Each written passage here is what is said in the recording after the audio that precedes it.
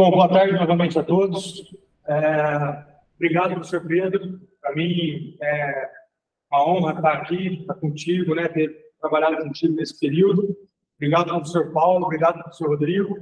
É, vou apresentar o trabalho né, de dissertação para os senhores, né, intitulado como estudo da eficiência das táticas de manejo integrado de cenófilos leves, né, soqueiras de cana-de-açúcar.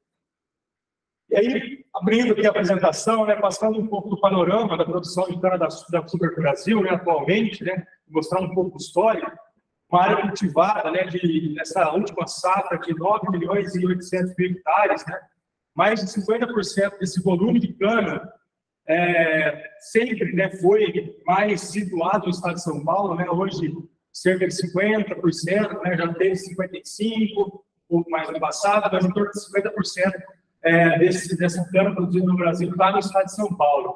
E o, o, né, o interessante aqui, né, que é uma é uma, uma cultura que teve, né, se a gente olhar para a safra 13, 14, quando teve pico né, de área cultivada né, de 10,6 milhões de hectares, a gente vê, a gente nota que na safra 5 e 6, né, quando os dados começaram a ser, de certa forma, mais, mais organizados, mais compilados, a gente tinha apenas 5,8 milhões de hectares. Né? Também muito concentrado é, no estado de São Paulo. E aí a gente viu nos últimos anos, né, em alguns estados, né, como é, estados é, de Mato Grosso, principalmente Goiás, né, um boom dessa cultura, né, Minas Gerais, né, um boom dessa cultura nesses, nesses últimos é, 15 é, anos, tá?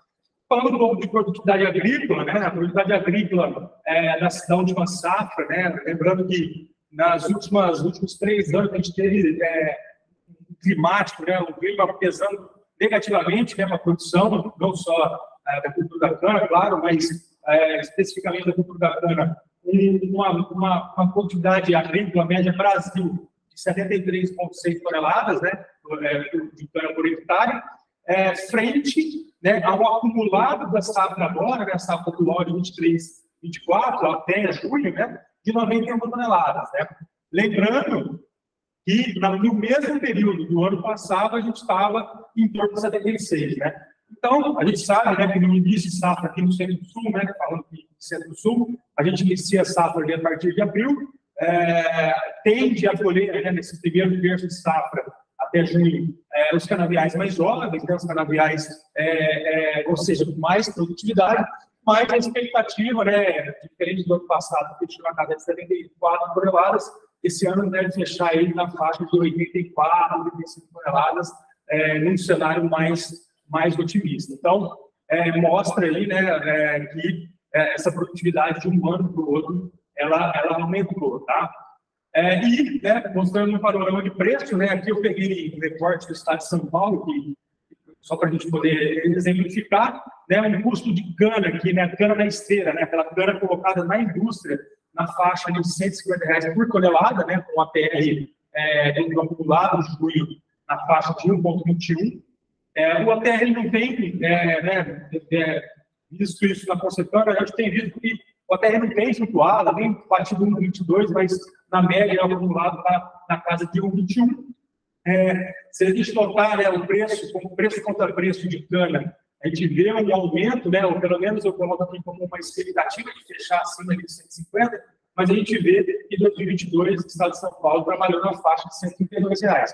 E o que, que a gente pode, né, se a gente for identificar, o que a gente pode atribuir um pouco dessa variação e desse aumento de preço? Muito, muito disso está né, é, empregado na questão do insumo, né, da valorização, do, do, aumento de algumas commodities, né, então isso acaba levando, e isso reflete naturalmente na produção e também no arrendamento de terras. Né? Então, isso mexe bastante com o preço de cana na, na, na indústria e produção disso. Tá? Então, aqui é um panorama geral só para a gente é, se situar um pouco melhor em relação à cultura da cana. Bom, falando de produtividade de cana-de-açúcar, né, existe na teoria né, que a cana ela pode né, ter um potencial genético ali, né, produtivo, intrínseco, de 380 toneladas né, é, de produtividade da cana. Né? E a gente vê né, que tem ali algumas restrições, seja elas fisiológicas, né, voltadas à própria, à própria condição é, varietal, questões ambientais, que a gente sabe que isso pesa e muito, né? Vide os últimos três anos, né, três últimas safras, né, que isso é, ela acarretou perdas grandes, né, que a gente chama de quebra de safra. Então, a gente tem aqui também outras considerações relativas às restrições ambientais e pesa bastante, e as restrições agronômicas, né, como plantas doenças, é, questões nutricionais, e, claro, que a gente fala hoje de pragas, especificamente de xenófobos, né. Então, olhando para esse gráfico, a gente nota que a cana está em torno de 20%, 21% é, na média, né, claro, isso aqui é uma média é, de estudo, é, de, de atingindo o potencial. Né? A gente está só de 1% explorando todo o potencial é, de produção da cana. Né?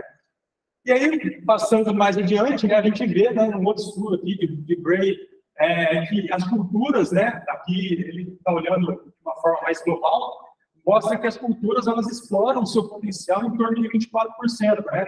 Grande parte dessas perdas, né, desse não atingimento de potencial, está principalmente por fatores né, de estresse da biótica, né, seja seca, vento, temperatura, isso é claro que varia muito de cultura para cultura, de região para região, tá?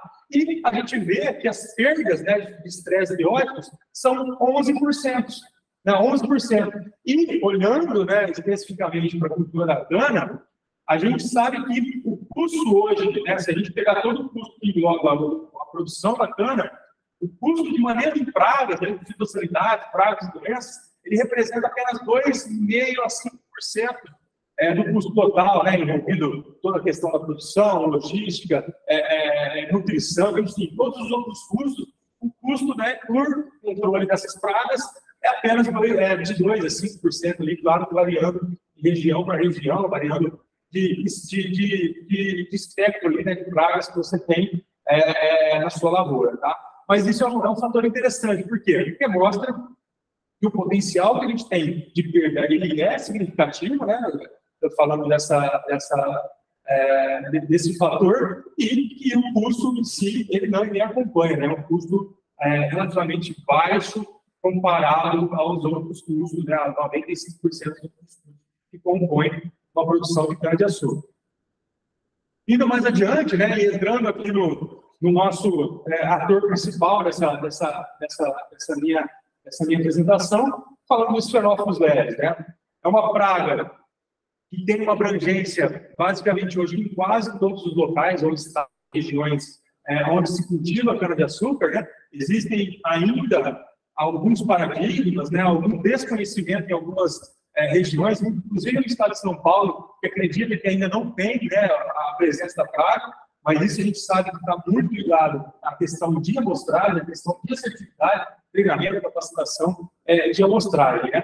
Então, é uma praga que teve ali sua primeira descoberta ah, no final da década de 70, né, os relatos mostram que foi no final da década de 70, na região de Piracicaba, e que hoje, né, como eu disse, né, em toda a região de expansão, né, e aí eu quis trazer aquele número inicial porque mostra né, o quanto que a praga, obviamente, caminhou junto com a expansão da, da cana. Né? Então, estados de Goiás, hoje que é o segundo maior produtor do, do Brasil, Minas Gerais, Mato Grosso do Sul, Mato Grosso também já, já relatos que tem a presença da praga. Onde a gente ainda não encontra a presença da praga, uma região já que tem uma, uma cultura, uma expertise de produção de cana verde, na região Nordeste. Lá, a gente ainda tem encontrado dificuldade, por exemplo, com o controle né, é, de blocos gigantes, né, de, de, outras, de outras pragas, mas que os xenófobos ainda não, não vem causando né, danos é, significativos lá na região.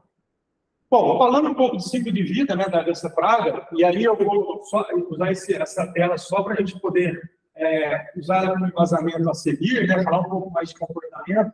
É, essa praga é uma praga que tem um comportamento, né, o adulto ele, é um, ele tem baixa mobilidade, né? Só que tem que tomar bastante atenção e a gente tem tentado, o setor tem tentado tomar medidas mais efetivas no controle do adulto, né? E a fase, né, a fase larval talvez é a fase mais instrutiva, né? E quando a gente olha em distribuição dessa praga, a gente vê, né, quando a gente fala de monitoramento, a gente vê a distribuição da, dessa fase larval praticamente o ano todo, né? Antes, quando ainda colhia cana, colhia cana queimada, né, tinha outras, outros manejos, a gente tinha as fases né, é, dessa praga um pouco mais marcadas. Hoje não. Hoje a gente encontra é, basicamente larvas né, em, em, grandes populações né, e adultos praticamente o ano todo, né? mudou bastante. A gente tem empregado a questão do, da palha, né? até mesmo como manejo. Então, a gente vê uma distribuição muito é, uniforme quase o ano todo, exceto na primavera, verão, no centro-sul, que aí a gente tem uma explosão né, do PIB populacional, que acompanha também o maior crescimento da cana. Tá? Então, esse, basicamente, aqui é, é o ciclo de vida. E aí, é falando de monitoramento, né? Então, passe ali ainda o monitoramento através de trincheiras, né? Que é o arranquio da, de uma doceira de cana de mais ou menos 50 por 50 por 30 de profundidade, onde se analisa não só os fenótipos, obviamente, mas todas as pragas ali de, de, de base de compost e de solo, né? É, iscas, né? As iscas, elas tem um papel importante, né? não como é, um monitoramento para determinação de, de, de, população ou algo do tipo de danos, mas a isca, né? até trazendo alguns exemplos práticos que eu tive minha, durante a minha carreira, é, ela foi importante, por exemplo, para a gente conseguir localizar o primeiro foco de xerópolis é o cannabinoide. É, quando eu trabalhava é, em usinas, a gente encontrou né, é, em uma região mais norte de São Paulo, através de isca, né, porque a gente sabia que já tinha presença da praga e a gente não conseguia determinar através do uso de trincheira, né? Então, o uso método convencional de monitoramento. Então, através do uso de imagens, né, de satélite, imagens aéreas, olhando um pouco o canavial um pouco de cima, e as iscas direcionadas né, para essas regiões de, de fronteira, digamos assim, a outras usinas, que a gente conseguiu, né, não só nessa região, mas em Mato Grosso do Sul também, a gente conseguiu determinar é, o, a presença da praga é, e aí sim a tomada de, de, ações ali de acordo com a, o encontro dessa praga. Né? Falando de prejuízo, né, eu trouxe essa literatura aqui, né, a gente sabe que é escasso né, a literatura voltada para manejo dessa praga, principalmente de dano, né, a gente encontra, né, de mais recente publicado, essa, essa citação da doutora Leila, que fala que a cada 1% de toco atacado, ou seja, quando eu faço a amostragem de, de, de, de, praga de solo ali, e eu coleto né, os danos dos, dos né, naquela base de plantas, a cada 1% daquela, daquela digital que os fenótipos deixam ali, eu tenho em torno de 0,6% a 1% de redução. É, recentemente, inclusive, uma própria abordagem da doutora Leila, ela, ela apresenta uma, um novo estudo ali que pode trazer ali mais de 3% de dano né, a cada 1% de toda atacado. Então, mostra que a praga está, sim, trazendo mais danos, e justamente em cima daquilo que eu falei, né, uma pressão muito grande em cima de novos materiais, em cima é, do clima, né, ela, ela acaba se, favorecendo, né, digamos assim, é, em relação a climas, quando tem climas mais, mais, é, mais extremos, né, em termos de cima. E aí, falando sobre dano, né, é, eu trouxe aqui um exemplo, né, aqui na, na, imagem que os senhores estão vendo, é um, é um dano, é, é, é uma imagem né, que, que remete ao dano né, que, que a praga causa é, quando ataca a torcida, né, então a gente comenta que o ataque, é, diferente da, da broca, por exemplo, que é aquele ataque que mata o perfil central ela, a gema central, ela, ela começa matando a planta, né, a coceira, de fora para dentro, né, porque justamente ela começa a pegar as folhas mais novas, né, que aquelas folhas que estão ali, elas começam a sentir né, de, mais, mais rapidamente. Então, trazendo um exemplo em cima dessa literatura, a gente vê que uma planta, né, com uma expectativa de mais de 120 mil plantas por hectare. Esse, esse dado interessante, né, a questão de população de plantas com 5% de toco atacado, ela pode causar ali em torno de 6, 6 toneladas de perda, né? E o crescimento dessa praga, eu trago ele que ele é relativo. Por que, ele é relativo? Porque o dano total de toco atacado, ele é em função do total de plantas que você tem na área, do total, em cima do total de tocos né, atacados ali, olhando para o retrovisor. Quando você faz a amostragem de praga de solo, você está olhando a digital, né, a marca digital ali que a praga deixou, mas você está olhando no passado. Então eu falo que é relativo porque aquela cana que vai, ser, vai se estabelecer de novo, né, que vai novamente perfilhar, ela, você fazendo determinados manejos, você pode segurar a população da planta, fazendo com que a planta né, se estabeleça de maneira mais, mais vistosa, e aí a gente consegue ter um enfrentamento melhor dessa praga. Né? Infestações muito altas, a gente tem até, a gente vai falar isso um pouco mais à frente, a gente tem até problemas ali com manejo, né? A gente acaba tendo tanta é, é, é, resultado de manejo justamente porque você tem uma redução, né? No, acaba tendo uma redução é, distante, né? Consequentemente, esse potencial produtivo ele acaba declinando muito, né? Quando a população se torna mais alta e aí muitas vezes acaba tendo que fazer uma antecipação de reforma, porque como a gente vê na imagem aqui, acaba abrindo né, é, clareza aqui no meio do canavial, e isso aqui é, acaba sendo meio ali da, da praga sobreviver, e você acaba não tendo muita eficiência de controle. Com isso, a produtividade cai de forma drástica, você tem que reformar o canavial, muitas vezes de forma antecipada. Falando um pouco mais de comportamento e dispersão da praga, né, é, é uma praga, né, adulto tem um, tem um hábito de pouco, né, pouco, caminha muito pouco, né, é, existem citações ali que fala que o caminhamento médio de 3 a 5 metros por dia, a gente sabe né, que o comportamento da praga de, de agregação, ela acaba não tendo muita é, necessidade de sair de uma toceira e migrar para outras toceiras, porque na própria toceira ali, né, da, dessa, da safra anterior, ela acaba tendo os adultos, a fêmea e o macho na própria toceira, então ela acaba atacando, depois vocês vão mostrar uma imagem que esclarece um pouco melhor isso, ela acaba atacando na, na própria região ali. Né? Outra coisa, outro fator importante, é a remanescência do canavial, né? Quando a gente acaba fazendo uma renovação desse canavial, se você não elimina essas plantas remanescentes, né? A gente chama de tiguera, né, em algumas culturas, ela acaba servindo né, de hospedeiro e reinfesta o seu canavial recém-plantado. Né? Além disso, plantas hospedeiras, embora não tenha nenhum relato de que ela consiga virar o ciclo de plantas, né, plantas daninhas, plantas hospedeiras ali é, no canavial, ela pode servir de abrigo para o adulto, principalmente. Né? Além disso, né, a gente vê, é, talvez um dos principais fatores, quando a gente fala de expansão da cana, transporte através de muda, né, transporte através é, de caminhão e colhedora, né, talvez são os fatores que mais é, pesaram né, a favor aí, né, ou contra o setor nesse sentido, em relação à, à, dispersão da praga, né, levando, sendo levado por quilômetros, né, é, é, através das mudas, né, através dos caminhões ali, levando é, a, a, muda. Né.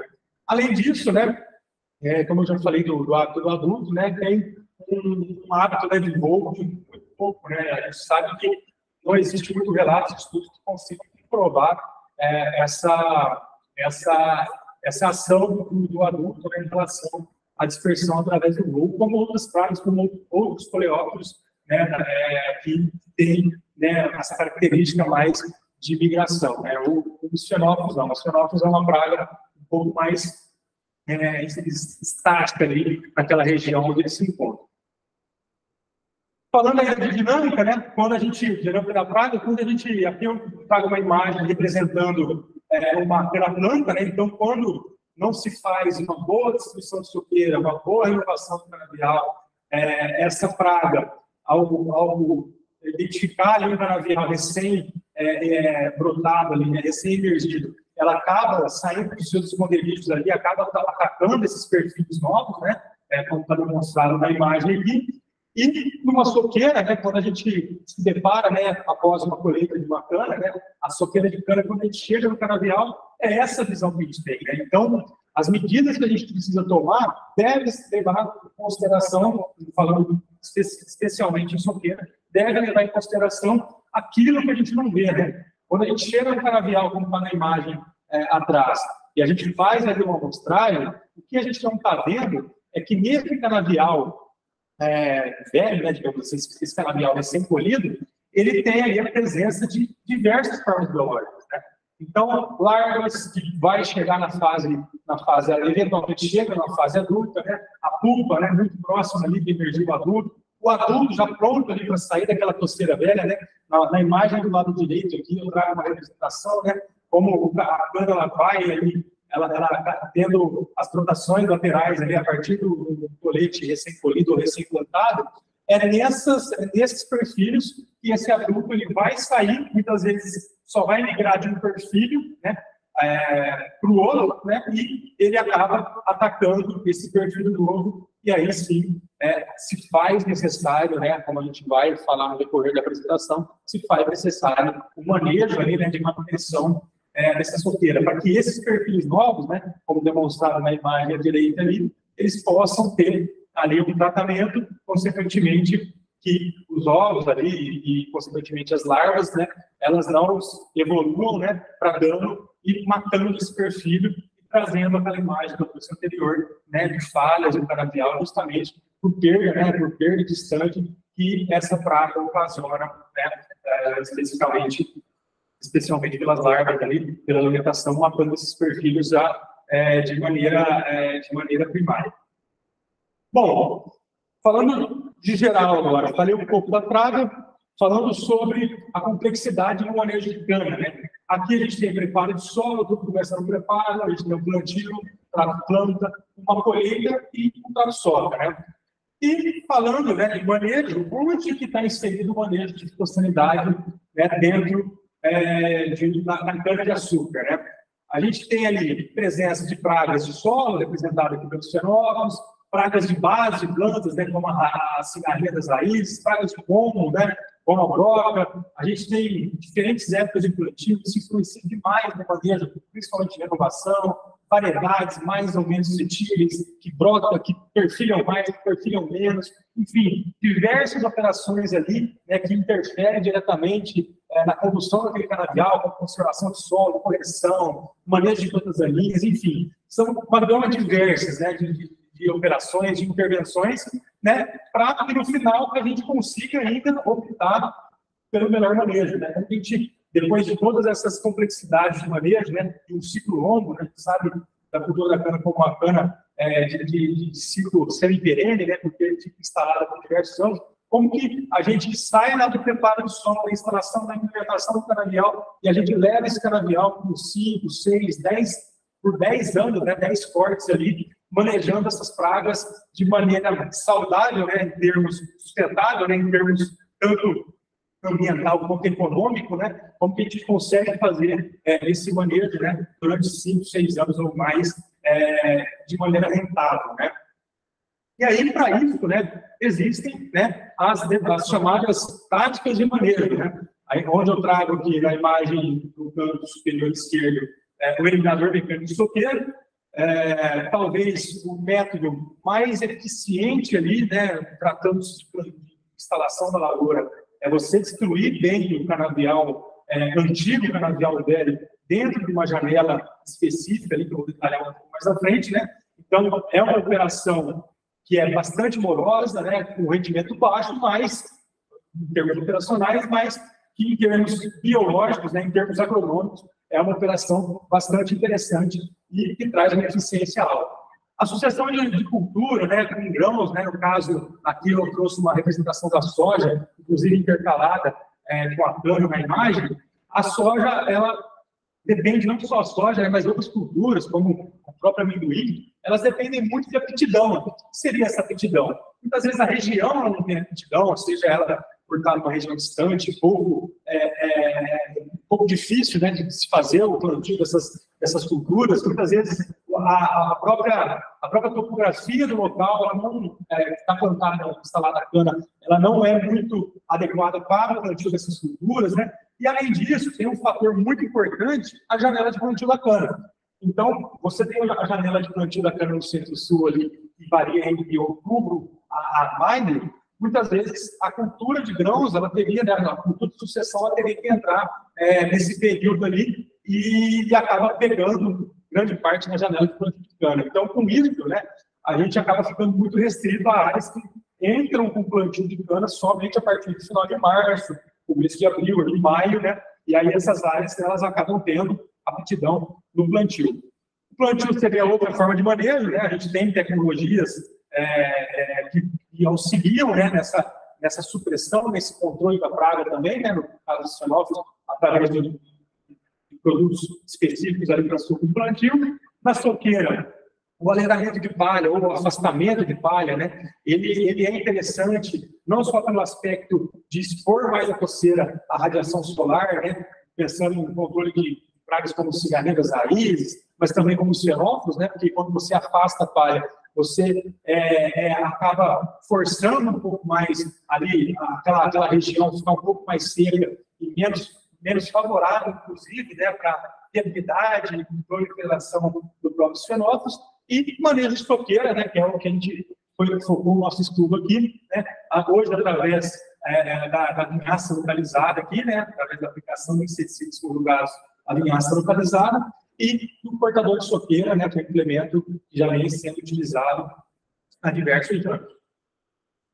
E aqui, passando rapidamente, né, como eu disse, né, a tática de manejo principal é a eliminação. A eliminação, se você fizer ela com uma dessecação prévia à eliminação mecânica, ela auxilia bastante, porque esse material precisa ser lançado né, é, é, na superfície do solo, para que ele fique exposto, né, que essas, essas pulseiras expostas aqui, como está demonstrado na, na, na, na, parte inferior da, imagem aqui, essa torceira exposta, ela vai né, pegar todo esse solo, né, essa incidência de radiação solar, ela vai secar aquelas formas biológicas, então provavelmente vai controlar um ovo, vai controlar uma pulpa que ainda está na fase inicial, e ah, muitas vezes ela acaba também controlando a, a, a forma de pulpa. Né? O adulto, nessa operação, não é tão eficiente, então, para isso, né, aqui faz-se indicado uma aplicação aí de inseticida de contato, 15 dias ali, 15 dias após a alimentação, porque aquelas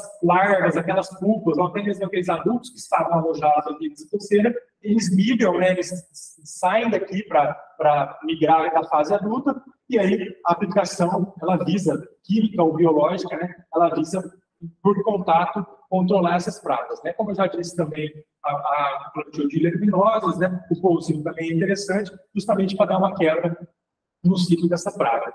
E falando de trato soca, né, a gente tem uma modalidade de aplicação via trench, corte de, de, disco simples ou duplo, né, como está demonstrado na imagem aqui, né, é, e é, a escolha, né, muitas vezes, ela, ela passa pela escolha do insumo, ou insumo, né, se for mais de um, época do ano, se a gente for pensar em diferentes épocas e, e um ou mais tratamentos, e pelo complexo de pragas também, sabendo ali a aptidão né, de cada tratamento é, em modalidade de acordo com as pragas ali. Né? O manejo de palha, ele tem que ser adequado à operação, né? E isso é, é interessante falar porque é, a gente nota uma dificuldade muito grande né, em fazer o manejo da praga na soqueira, da praga na soqueira, é, quando a gente tem, como está demonstrado nessa imagem à esquerda aqui, é, a, a palha estendida, né, a gente tem uma dificuldade muito grande de rendimento de álcool com diversos fatores, é um bloqueio que a, que a, própria palha causa, né? No corte de soqueira direita, a gente vê que a palha ela acaba é, muitas vezes envelopando, que a gente chama, né? O disco corta, ele envelopa e o produto que deveria cair no solo, ele acaba caindo em cima da palha, isso também traz algum tipo de problema, tá?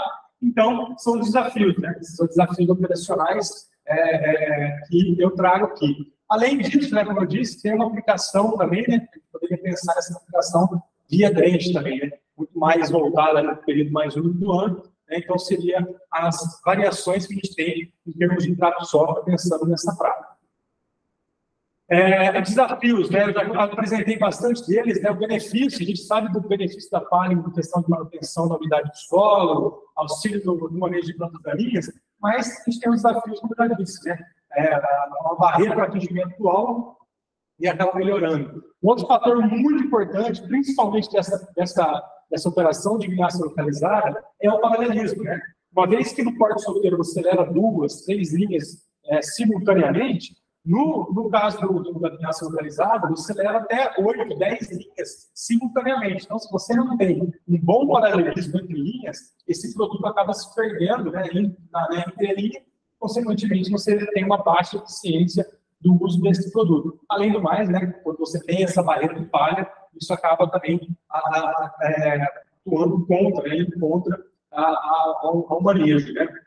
Um benefício operacional, isso não pode ser descartado, então por isso que a gente precisa evoluir, é a relação a custo. Né? Quando você conjuga uma operação que já existe, que, vai ter, que deve ser feita para fins nutricionais, e você agrega outras operações, consequentemente você tem menos passadas no canavial, você tem ali menos uso né, de, de diesel, menos uso de tratores, enfim, tem vários fatores, vários benefícios que a, essa operação acaba agregando. E no caso do quarto soqueira, eu trouxe um, um, uma imagem que representa bem né, é, o desafio. Primeiro é o volume de cauda, né? o outro é o atingimento do alvo, né, porque a gente tem também é, implementos que levam mais de duas linhas e isso acaba, a, a usina planta duas linhas, né, então a, a bitola está regulada para duas linhas, depois usa equipamentos de três linhas e isso acaba trazendo um problema ali também, né, em relação ao paralelismo.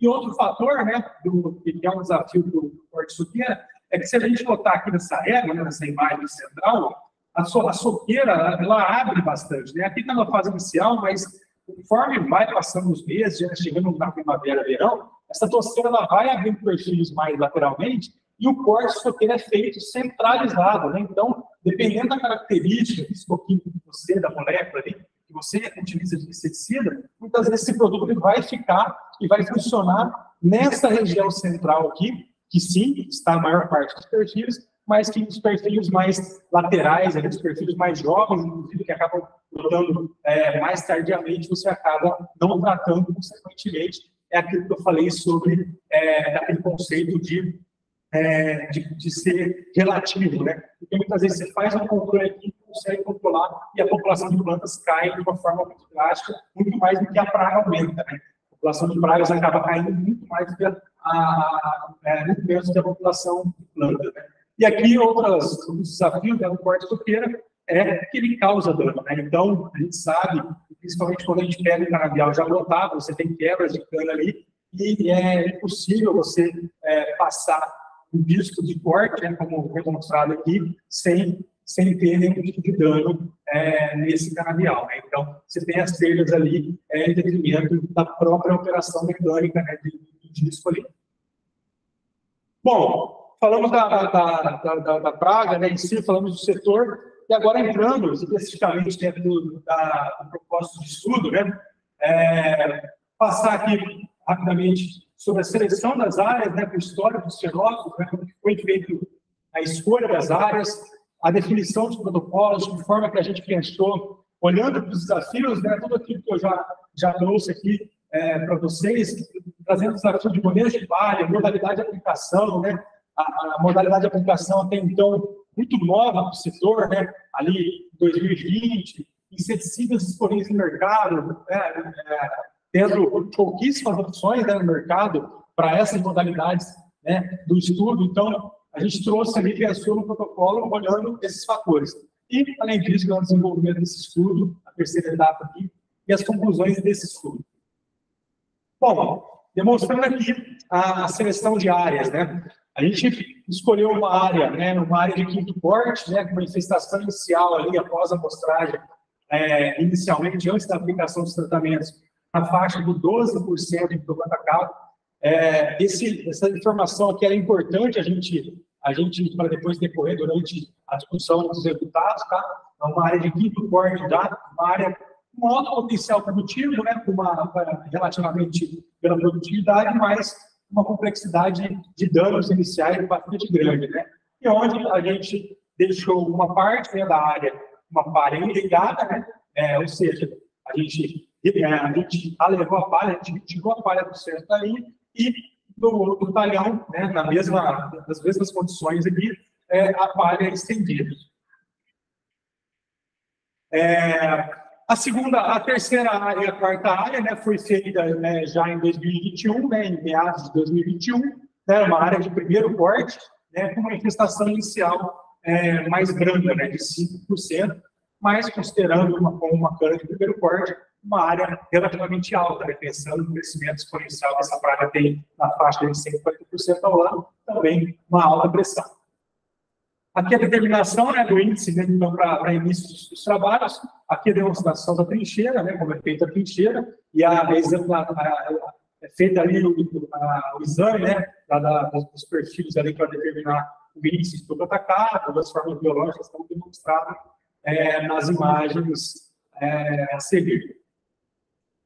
E definição de protocolos, né, tratamentos a gente definiu em oito, oito tratamentos, né? sendo um deles um tratamento controle, ou seja, sem vinhaça e sem inseticida, e um tratamento dois aqui com vinhaça, né, sem inseticida, para ver, né, aí a gente vai falar um pouco mais à frente para ver como é que isso poderia é, contribuir ou influenciar de maneira direta, tanto na produtividade quanto no controle da praga. Outros tratamentos, né, inseticidas, onde a gente é, é, variou é, em termos de operação, né, então, aplicados via trator, né, aplicador de vinhaça localizada, né, conjugada, operação conjugada, é, e também no corte soqueira, que seria a aplicação convencional. Os tratamentos 6, 7 e 8, embora tenha sido cortado soqueira, eles receberam vinhaça localizada posteriormente à aplicação é, dos inseticidas. Então, o tratamento 2 ao tratamento 8, todos eles receberam é, vinhaça localizada. Aqui, um detalhe da operação, né, do corte de soqueira, como é que é a, execução do corte de soqueira, um disco, né, com jato sem a presença de botinha aqui, com jato sólido, né, com esquicho, na, na, é, sendo enterrado na faixa de 10 a 12 centímetros tá? E aqui o detalhe da aplicação da vinhaça localizada à direita, né? E é uma aplicação é, conjugada, né? Onde em cima do tanque, do tanque, do tanque caminhão, a gente tem um tanque ali de, 2 mil litros de, de, de calda, né? Onde o inseticida ele, ele é aplicado simultaneamente né, à aplicação da vinhaça. Então, como vocês podem ver, o, aplicador de vinhaça, é, ele lança a vinhaça, ele aplica a vinhaça simultaneamente numa outra cauda no nosso estudo, a aplicação do inseticida é feita de maneira conjugada. Tá? Existem modelos que a aplicação ela é, ela é conjugada, misturada dentro do tanque, tá? mas o nosso estudo foi embasado, foi feito através desse equipamento que está no mar.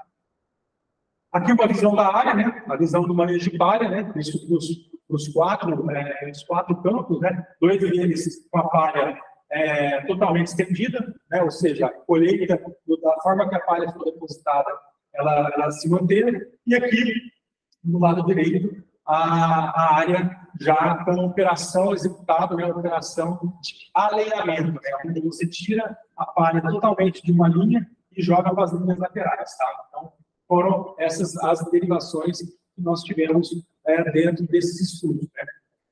Bom, partindo para resultados. Então, no ensaio 1, né, onde a gente teve a palha estendida, né, ou seja, aquela palha que não foi, não foi removida, e a gente fez ali os tratamentos, né, os dois tratamentos, a gente vê que não houve né, uma diferença estatística né, é, na, na pré-aplicação, então a, a infestação ela variou muito pouco entre, entre, entre os tratamentos, né? E olhando, né, após 120 dias, a gente também não teve, né, não obteve nenhum dos tratamentos ah, é, diferença significativa, tá?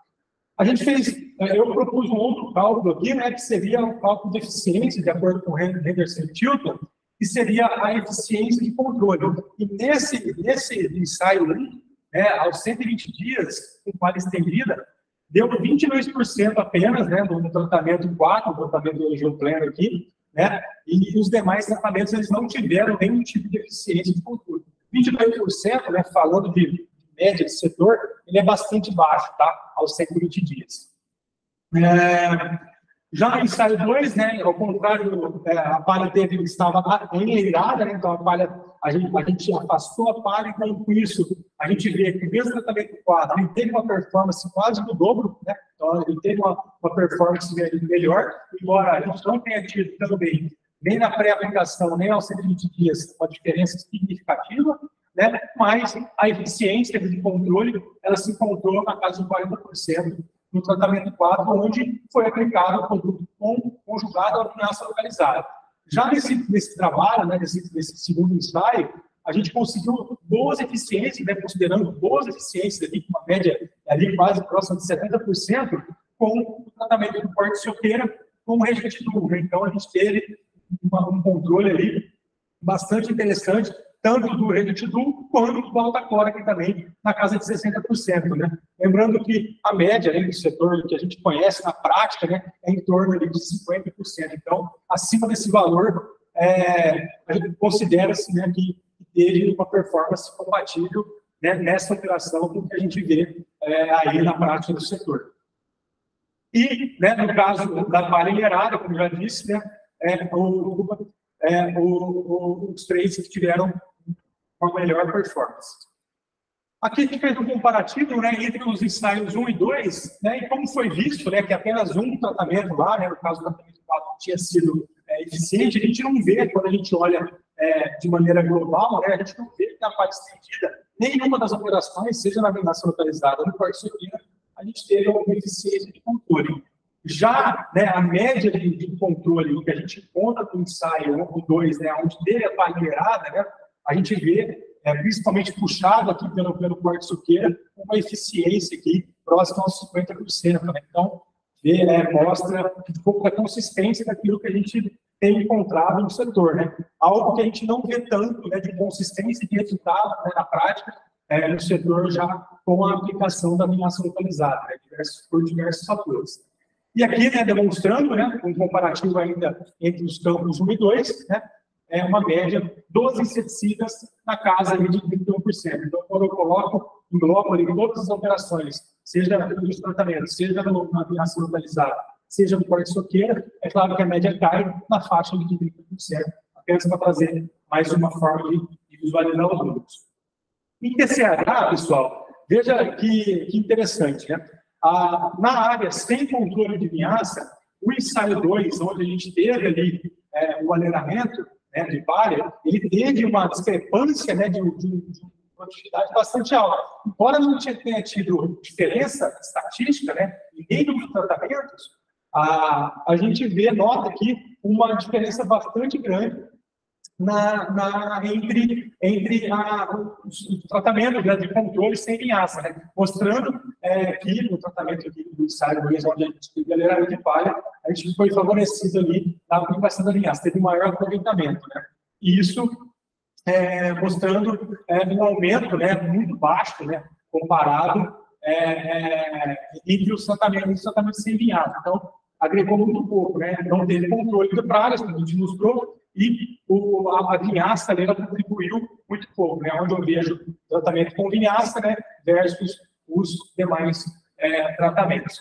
E aqui, né, no ensaio 2, onde a, a testemunha, né, o tratamento sem vinhaça deu 88%, alguns tratamentos não teve nenhuma diferença, né? Alguns aqui agregou produtividade, o tratamento 4 também, que lá a gente é, viu uma eficiência, a gente vê aqui que alguns não, eles não foram de encontro com aquele controle que a gente viu. Então, a gente encontrou controles ali na casa de quase 70%, aquilo não refletiu em produtividade. Muitas vezes, é aquilo que eu trago, né? Eu trouxe, na verdade, no início da, da minha fala do, dos ensaios, que é um canavial alojante muito forte com uma baixa, é, uma baixa, um baixo potencial produtivo né, de produção. Então, consequentemente, a gente não vê tanto efeito ali é, de população de glândulas, né, de recuperação de canavial, é, principalmente é, em detrimento do tratamento inseticida e do tratamento de vinhaça. Já no ensaio 3, né, então, na outra, na outra época, no, em junho, né, é, no ensaio 3 de palha enleirada, né, a gente também aqui é, começa o ensaio numa situação melhor em termos de, de topo atacado, né, uma média menor, né, em torno de 5%, não houve diferença significativa entre os tratamentos, assim como aos 150 dias após o tratamento, a gente também não encontrou diferença estatística né, né, nesse tratamento. Já quando a gente fala de, de eficiência, né, de, de, controle aos 150 dias, a gente vê o, é, o tratamento que a gente deu tanto na linhaça localizada quanto é, no corte soqueira, na faixa de 60%, 50% de controle, né, sendo um pouquinho melhor é, na, na, na localizada, enquanto que o, o região pleno ele está muito próximo um do outro, né, em torno de 50% né, de, controle também, controle razoável, né, aos 150 dias, enquanto que o tratamento alta-cor teve uma discrepância muito grande quando comparado às eficiências na linhaça localizada, né, de palha, palha minerada, ou seja, aquela palha afastada, comparando é, com o portador de soqueira. Mas lembrando, comparando os ensaios 1 e 2, é muito próximo, né, um corte soqueira com o uso dessa tecnologia aplicada, né, injetando na base das plantas ali, né. Já na palha estendida, né, trouxe alguns tratamentos interessantes, né, algo que a gente não viu na palha estendida no, no campo, no, no, primeiro ensaio, né, Já no quarto ensaio, a gente vê que, embora não tenha tido diferença significativa, é, tanto na, na, entre os tratamentos na, na pré-aplicação quanto nos 150 dias, a gente nota aqui que algumas eficiências, né, elas caíram né, em relação à mesma época do ano. Então, se a gente olhar no ensaio 3, ou seja, de palha enleirada, onde o fipronil teve uma performance melhor ali, ele já caiu bastante com a palha estendida. Muito isso pode ser atribuído ao produto ter ficado retido na palha, né? Porque é, aquilo que eu falei sobre os desafios dessa operação de palha estendida. É, e aqui, né, o, o engeopleno, ele tem, também teve uma discrepância muito grande é, entre os tratamentos, né, onde que a vinhaça localizada é, ela foi bem acima, né, muito próxima dos outros ensaios, é, na, na, casa de 70%, é, quando aplicado no corte suqueira. E aqui, né, no Alcacor, né, ao contrário do ensaio que a gente teve anterior, ensaio 3, ele teve uma eficiência melhor na vinhaça, né, muito em talvez, do volume de calda aplicado ali, você conseguiu atingir melhor o alvo, né, atravessando melhor essa porção de palha, enquanto que isso, uma, uma das restrições, como já foi dito, dado o corte suqueira, esse produto pode ter ficado perdido, retido, é, muitas vezes porque atingido o alvo ali, que é a base das plantas, né, que é o solo, a região das raízes ali, e não teve é, nenhuma eficiência nesse ensaio. Quando a gente parte para as modalidades, né, comparando os, os dois ensaios, o ensaio 3 e 4, em palha minerada, né, tanto na linhaça quanto na sobeira, teve relativamente, né, as médias, teve um controle muito semelhante. Né, mostra que em palha minerada, né, tanto a vinhaça localizada, né, um pouquinho abaixo, mas principalmente no corte de soqueira, ele se demonstrou melhor eficiente. Já o ensaio 4, onde a palha está estendida, somente puxado pelo geoplano ali, né, teve um controle médio ali de 40%, enquanto o corte de soqueira a, a, gente não obteve é, nenhum resultado eficiente ali na média dos dois campos. Né. E olhando para inseticidas, né, puxado muito pela média muito boa, né, do, do, inseticidas é, na, na, área irrigada, né, onde a gente afastou, que teve uma média razoável na vinhaça, mas principalmente boa de, de eficiência no parque solteira, a gente vê próximo dos 46%, enquanto no controle é, do ensaio 4, né, onde a palha estava totalmente estendida, a gente teve uma baixa, é, uma baixa eficiência, e mais à frente aqui eu trago é, os dados de, de, de, produtividade, uma das hipóteses, né, é, dessa produtividade ter sido bastante é, apertada, principalmente na área onde a gente não teve a vinhaça aqui, né, ali 112 é, é, toneladas por hectare comparada ao que a gente teve no ensaio 3 enleirado, com produtividade média maior, a gente nota que é, a, as respostas elas foram muito distintas uma para outra. Né? E é importante lembrar que essa área ela sofreu por geada em julho. Então, uma área que foi colhida no final de maio e aplicada no início de junho ali, no, no, no, no, final de julho, se todos lembram do ano, do ano climático no meio do ano de 2021, na região centro-sul, a gente teve diversas geadas, né? e essa foi uma área que ela sofreu por geada. Então, o impacto de não ter recebido uma nutrição ali, uma, uma irrigação, né? através da linhaça localizada, foi direto né, no efeito da área do de vinhaça. Além do mais, né, outro dado interessante né, desse campo, acompanhando o campo de perto, eu pude notar que a área que a palha estava totalmente estendida, o efeito, é, o efeito negativo da, da, da, da, da geada foi muito maior do que na área do SAI 3, onde a palha estava enleirada. Né? Então, o efeito de congelamento ali que a, que a, geada, a geada causou, já de uma cana já com uma brota de mais ou menos 40 centímetros, ela foi muito pesada, muito negativa, né? principalmente na área onde a gente não recebeu a vinhaça. Né? Então, teve esse efeito de deletério é, em relação à, geada. Tá? Bom, como conclusão, pessoal, é, os melhores resultados né, de eficiência dos inseticidas eles foram obtidos é, onde a palha foi minerada, a gente pode ver isso, né, é, navegando ali por praticamente todos os ensaios, a gente notou uma, uma, uma sutil, principalmente no primeiro e no segundo, mas maior no terceiro e quarto ensaio, onde a palha está minerada, né? Os tratamentos inseticidas, eles reduzem o percentual de isomos atacados, mas ali por 120, 150 dias, né?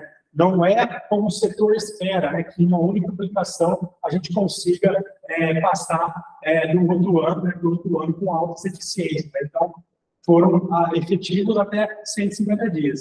A operação conjugada, né, aquela que eu demonstrei da vingança localizada, ela é uma alternativa, né? no entanto que é, iniciou-se ali a aplicação de vingança localizada em torno de 2019 e ela vem crescendo muito no setor, e agora com a adoção de inseticidas, nematicidas a ela, ela tem sido uma boa alternativa, né? É, principalmente para concluir fenólicos, e a aplicação de inseticida com vingança localizada como eu digo, ela precisa ser mais estudada. Né? Existem diversas variações de equipamentos, de tecnologia de aplicação, e isso tem trazido impactos não tão positivos em termos de controle da praga. Né?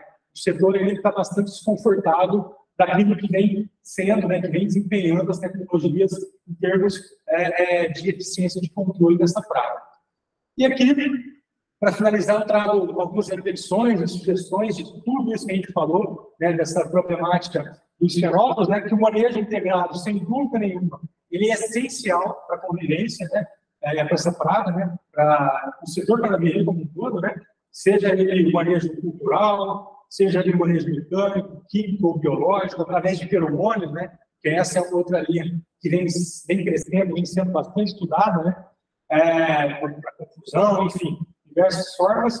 Adotar o manejo integrado 2.0, né, como eu trago aqui, entre aspas, né? o que seria esse manejo integrado? É juntar, é trazer para perto o pessoal do operacional. Né?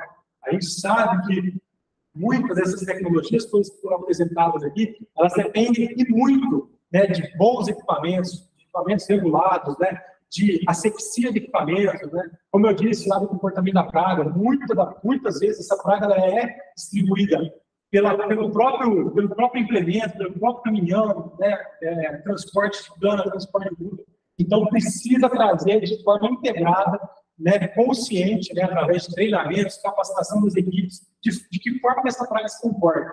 Muitas vezes a gente se apega muito à biologia da praga, né, ao ciclo de vida da praga, e fala muito pouco do, do, comportamento da praga. É uma praga que, embora ela seja uma praga considerada de solo, ela é uma praga de coceiras. Então, diferente da forma que você atingir, formando muitas vezes barreira, né, barreira química, por exemplo, para atingir aquela praga de solo que vai atacar as raízes, uma praga como os fenómenos, como outros, mas especificamente como os fenómenos, é importante que se conheça o comportamento dela, aonde ela vai estar, quando ela vai estar e de que forma que eu vou atingir ela. Os fenófilos, né, como eu disse, ele tem esse comportamento de agregação, ele fica muito próximo ali tem em torno de 2, 3, 4 centímetros de profundidade na base das plantas, que é aquela região onde o tolete brota, né? E os perfis novos eles emergem do solo, né? Então ela fica muito ali na axila, eu chamo de axila da, da, da, das toceiras, né? Então é muito difícil você atingir. Então ter conscientização, treinamento desse pessoal é muito interessante porque a gente tem esse modelo de forma mais eficiente, né? E é necessária uma união do setor, investimentos em tecnologias, biotecnologias, como algumas já estão chegando, né? pesquisa de novos insumos para o manejo dessa praga. Além disso, né, o que está na nossa mão hoje é agregar outras intervenções no manejo dessa praga, né? Um pouco de quebra de paradigma. Né? Eu trago exemplo, exemplo né, é, do, do, do, manejo do bicudo, uma praga muito semelhante ao, ao aluno dos fenómenos, né, no algodão, onde você tem ali intervenções né, para poder conviver com a praga, né, e na cana-de-açúcar, com apenas uma aplicação, né, a, a espera-se, né, como na sopa seca, espera-se que tenha que, que obtenha esse resultado, né? Lembrando, né, que apesar de você fazer um manejo de preparo, né, você faz uma vez só na, na, instalação do canavial, você faz uma vez só no suco de plantio, a choqueira, 80% do canavial no centro-sul, né, porque a região nordeste tem um outro, outro regime aí de, de, de época de colheita, mas no Centro-Sul, 80% do canavial é colhido entre abril a setembro, né? Então, fica pouquíssimo, pouquíssimas áreas para colher no final de safra. Muitas vezes, esse final de safra são canaviais mais velhos, poucos, pouco produtivos, né? E que vai ter pouco investimento. Então, o foco é nesses 80%. A gente precisa fazer uma boa intervenção de acordo com as tecnologias disponíveis hoje, né, de inseticidas, de produtos químicos ou biológicos, a gente precisa fazer uma boa intervenção aqui nessa, nesse período do ano, logo após colheita, para principalmente blindar aqueles perfis mais jovens, né? Aqueles perfis que vai estar se estabelecendo no período mais crítico, Mas a gente não pode esquecer que a gente tem que manejar também no período de primavera-verão, que é o período de maior atividade do, do inseto né, em si, é, onde a gente vê a explosão populacional da praga, mas que também é o período que a cana está mais perfilhando, é o período que a cana está mais, é, mais robusta ali em termos de perfilhamento. Então, fazendo o tratamento no período mais seco e fazendo esse tratamento também químico, biológico, com uso de diversas tecnologias no período mais úmido, dá-se a, a, a, oportunidade de enfrentar melhor a praga, né, para que chegue numa uma condição de renovação de canavial com pressões menores, e não como chega hoje com 50%, 80% de infestação, chegando com infestações menores, e aí a gente consegue controlar e conviver com essa praga de maneira é, é, é mais, mais harmoniosa. Pessoal, a mensagem que eu tinha para passar era essa. Eu queria trazer aqui só para finalizar o, a, a, minha base, né, aquilo que aquilo que, que, me, que me faz levantar de ser uma pessoa melhor, né, são, são meus filhos, aqui a minha família, a minha esposa. É, sou grato demais a Deus por, por essa fortaleza que, eles são na minha vida. Né, meus pais, poderia deixar de, de agradecer meus pais, né, também é, são responsáveis aí por, eu chegar como eu cheguei, tem muito mais ainda. E a gente sabe que nem sempre é fácil, né, professor? Quando a gente, quando a gente conversou a primeira vez, né, pra gente, se você aceitou a, a ser meu, meu, meu orientador, eu sabia do desafio que eu trabalhava, viajava bastante e que eu tinha essa pequena ainda para dar atenção. Então, muitas vezes eu estava estudando lá para provas do mestrado, para as provas escritas do mestrado, ou fazendo até a dissertação, e eu tinha que dar essa atenção para ela no final da noite. E, para finalizar aqui, agradecer essa mulher que, para mim, ela não tem igual, que foi a que, que, que, sempre me apoiou em todas as decisões da minha vida, né, minha mãe. Então, agradeço a Deus por eles. Muito obrigado mais uma vez, professor Pedro, sou muito grato a tudo que, todo o apoio que você me deu nesses, nesses anos. É, obrigado, professor, professor Paulo, por toda a paciência por ter aceito aí. E estou à disposição dos senhores.